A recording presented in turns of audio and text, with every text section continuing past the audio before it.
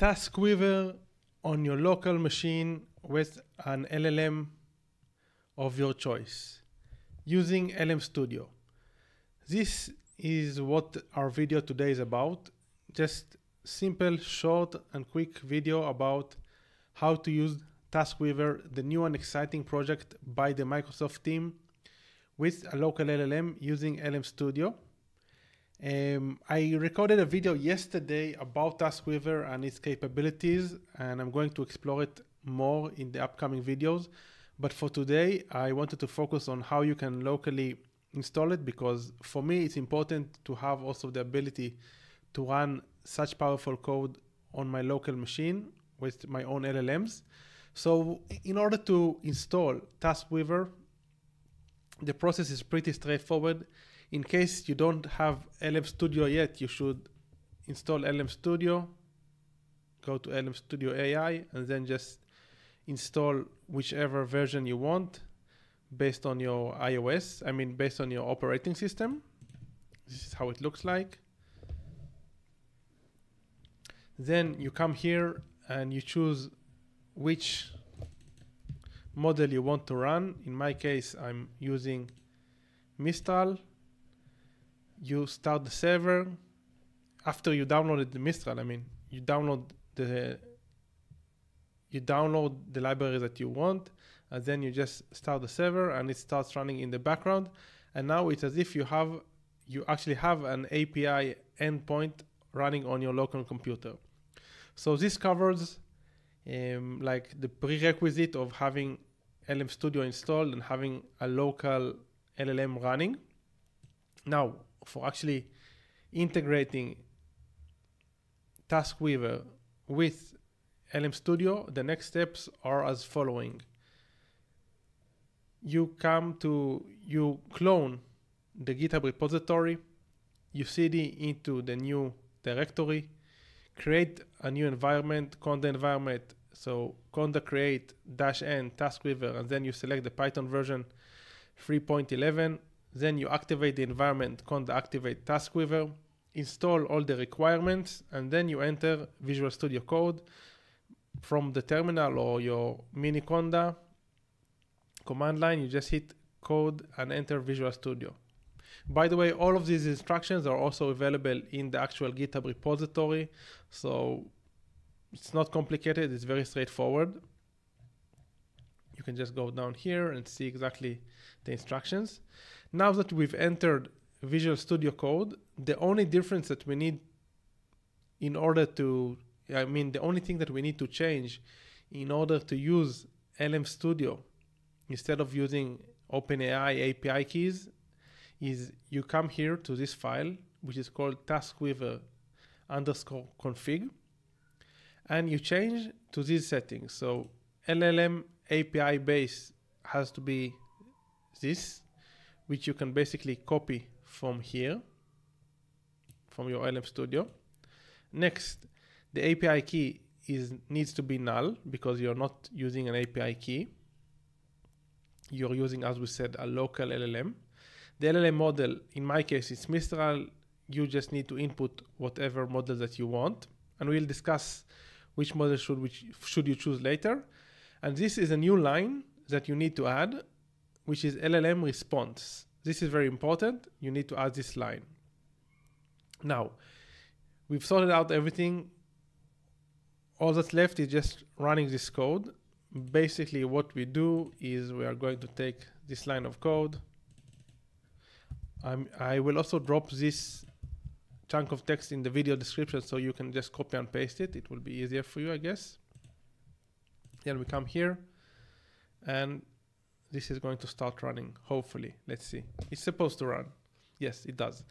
So TaskWeaver said, Hi, I am TaskWeaver, an AI assistant. To get started, could you please enter your request? Yes, please print all even numbers between 12 and 48. And now it is starting to work on this end and you can also go to LM Studio and see that it has also started pulling the requests. And now in the meantime, while it generates the response, let's discuss the downsides of using an LLM, uh, local LLM in this case, especially if it's a quantized LLM and not um, a bigger um, file which has a bigger, um, more data. This is a quantized version, it's only seven gigabyte. So it's, it's while it is faster, it is quite slow. Uh, sorry, while it is faster, it isn't as powerful as the alternatives. And you can see now it's going to take a while to generate the response. But um, in this case, I'm, I'm using Mistral. If you want, you can choose a different um, model, such as Starcoder or anything else that is available in LM Studio, as this will probably generate better results. I still believe that in order to use TaskWeaver and you know enjoy all the big benefits of TaskWeaver, it makes more sense. And so far, I mean, based on the current situations of the models, it makes more sense to use ChatGPT, I mean GPT-4 or GPT 3.5 Turbo. But this is also an alternative, and as time goes by, I believe that the local LLMs will be more powerful and faster, and in that case, TaskWeaver locally might be very, very helpful. Now, a few more, more points. I'm going to test in the upcoming video, I'm going to test more use cases for TaskWeaver using GPT-4. Based on my first impression of TaskWeaver locally, I still believe that using code interpreter, uh, sorry, open interpreter locally is still a better alternative than using TaskWeaver at least for the use cases that I came up with. But as I said, TaskWeaver was just launched a few days ago, and the sky is the limit. I think it's a very powerful tool when you know how to use it, and I'm sure that it will develop a lot very, very fast. So I really suggest staying updated and keeping an eye on what's going on when it comes to TaskWeaver. So what you can do, you can also hit the watch button, so you you you, you will be alerted regarding any updates of the TaskWeaver um, project and also joining Discord um, channels that discuss TaskWeaver or AutoGen because these channels are very progressed. People research and upload very interesting use cases. And normally, when it arrives to YouTube, it's I wouldn't say it's already old news, but it's somewhat already it's, it's somewhat old news. Let's say YouTube uh, creators such as uh, myself or other creators who have a bigger following, they create stuff based on what is happening in the Discord channel and what people what people are discussing in the GitHub repositories and in Reddit or stuff like this. So if you want to be a, a, a first mover and grab a real wide understanding, broader perspective of TaskWeaver, I really suggest that you join Discord channels and obviously keep following my channel because I'm going to explore this uh, project and AutoGen uh, deeply in the next few weeks. I guess that's it for today, guys. It was just a short video because I wanted to show you how to exactly uh, how exactly you can use TaskWeaver locally. One thing that I forgot to mention, and this is very important, that I tried already yesterday to do this locally, but I encountered a, a persisting issue until I realized that I had to update LM Studio. So if you are following my instructions uh, to the T, but still have any issues, make sure that you go to LM Studio and just download the latest version. And for me, it uh, it solved my issue, and hopefully it will also solve yours if you have any. Um, again, that's it. If you have any questions, please let me know. Leave them in the comment section. I would appreciate if you can sub- subscribe to the channel.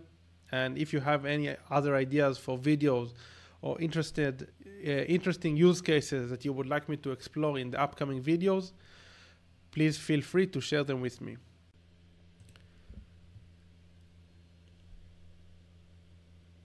Okay, it's actually been taking so long. I I forgot the fact that this script is still running in the background and I moved on and concluded the video. So as soon as I download the video before uploading it back to YouTube, I realized that I actually forgot to show you the results. And this just comes to show you how slow is using, how slow is it using TaskWeaver uh, locally. You can see the progress over here. So I asked it to print all even numbers between 14 and 48 and then it uh, it responded loading the data file filter the data this is like the initial plan filter the data to include only even numbers report the result to the user this is another plan instruct code interpreter to load the data file filter the data to include only even numbers report report to uh, the result to the user. And as you can see it is still uh, thinking and generating the code. Um, you can see over here like under the hood or behind the curtains of LM Studio and how it is actually creating the response. I don't think it makes much sense for me to uh, keep on streaming this. As you can see, it's very slow as I said, I don't think it is very powerful at the time being, but if any of you has a, a, a, way stronger machine or other use cases, you might find this helpful. I believe that again, it will be very powerful in the very, I mean, very soon. But at the moment, based on my impression, it's still not there. Um, running this type of tasks locally doesn't make much sense and yeah i think this is my first impression if this changes i will definitely